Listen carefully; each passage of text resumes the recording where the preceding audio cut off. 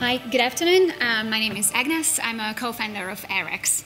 Um, we developed uh, an intelligent uh, air brick that essentially helps reducing heat demand in households uh, without compromising damp and air quality. Um, basically, in the, in the last few years, our core team uh, has, been, uh, has led the delivery of 30,000 energy assessment in social housing. And uh, the lessons that we learned there um, is is enhanced. So uh, if you look at the retrofit market, uh, we can see that uh, cheaper products like loft or cavity wall insulation have been successfully rolled out across the country because the payback is so short. Uh, and therefore their market is saturated. Whereas other solutions can be um, hugely um, disruptive or unaffordable for the mass market. So we spotted a huge opportunity in a seemingly simple solution, selectively controlling air vents. 16 million homes in the UK have uh, these air bricks. They are there for ventilation purposes to avoid condensation. But if they are constantly open, that leads to about 10-15% of energy wasted. In the same time, when uh, occupants permanently block them, that could cause condensation and damp issues. So we developed uh, a solution, um, an intelligent ventilation control. What it does, it measures temperature, humidity, and air quality, and its cloud-based algorithms automatically regulate the airflow. So essentially saving money on energy bills without uh, compromising damp issues. Um, we have a solid, strong patent pending. Uh, we secured quarter of a million grant uh, funding and 100k seed investment. And um, we are conducting our first commercial trials uh, with uh, a commercial customer, Engie. Um, and our early field trials shown then that we can reduce the conductive heat loss by 50% and improve the dwelling airtightness by 20%.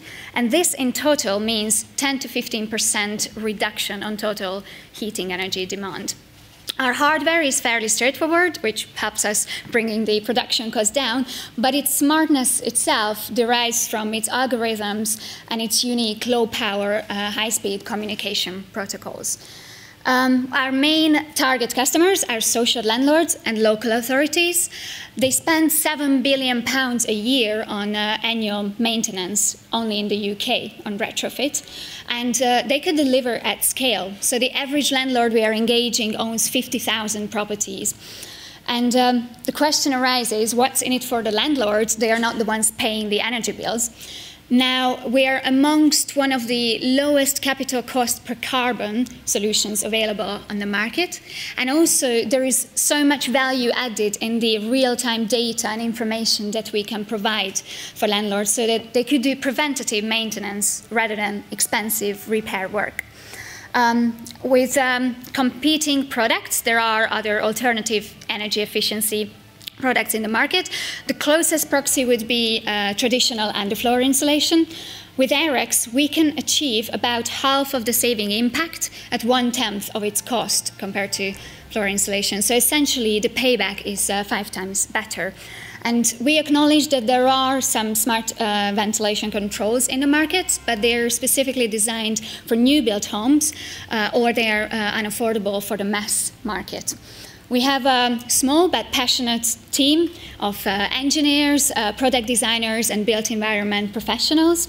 And we are really lucky to be supported uh, by, um, by experts from, uh, from clean tech sector with decades of experience by year three, we are aiming to, um, to secure 3.2 million revenue coming from 10,000 installs. And uh, in terms of the production costs, we are about to outsource our manufacturing processes to Eastern Europe. So we are confident that we could reduce the unit production cost to below 30 pounds for next year.